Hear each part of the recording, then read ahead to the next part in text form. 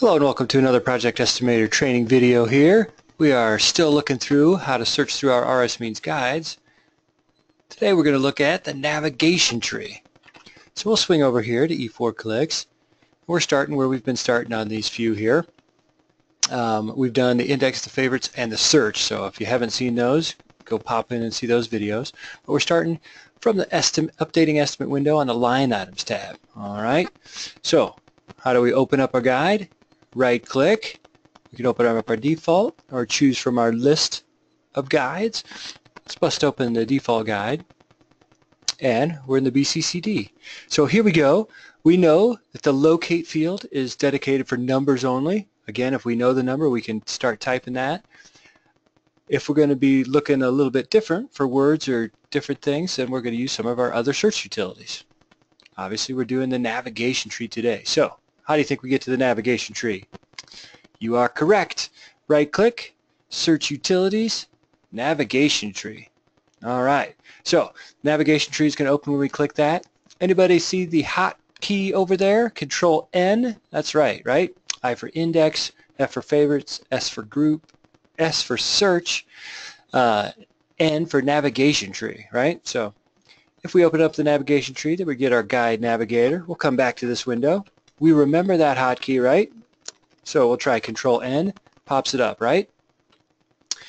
One more way to open up the navigation tree. We've been working through our toolbar icons, the index, the favorites, the search, and now we've got the navigation tree. So it's a little folder structure there. We click on that and boom, we're into the guide navigator. So when we saw the index a few videos ago, that was kind of the back of the book the guide navigator is kind of at the beginning of the book, right? So the table of contents. This is kind of a cool way to see the different groups that RSMeans has organized all of their line items into. So it's kind of nice to see. So we can walk through here either with our arrow keys if we want to.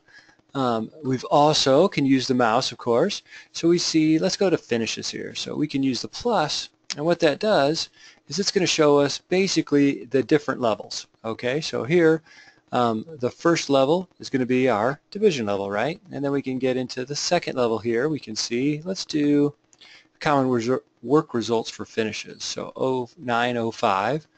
And then we can see the third level there, right? 05 is selective demolition for finishes, and 71 is acoustic underlayment, right? So let's open up this one here, and we can see now we're looking at the fourth level. So these are our different headers, right? When we get to the pages, right, and a little page icon there, we're not going to be able to drill down any deeper.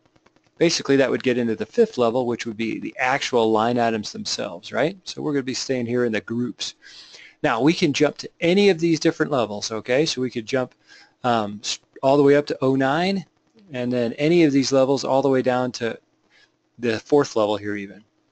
So we're going to do that either by hitting the enter key on the keyboard to jump there or by hitting the locate item button. When we do that, boom, we've jumped right over to 090510, selected demolition of ceilings.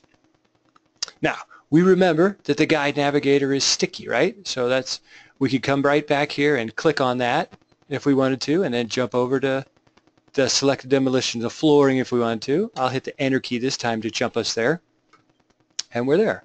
We could also, if it was hidden or we couldn't see it or whatever, we could use our different ways to open it back up and we could go and hit the navigation tree and again it's going to leave us right where we were.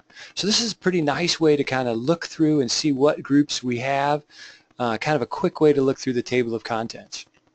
One other thing that we can do here, uh, I mentioned that you can use your arrow keys, you can also use the the keyboard a little bit. So I hit 2 there, and that jumped to the first um, 2 that we saw here, fire suppression, so we could come down to plumbing, right?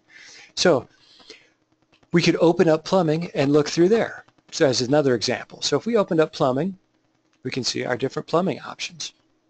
Uh, we could look through HVAC. It's, we could drill down, see what kind of uh, different uh, chillers we have, or different options is another way to look at this.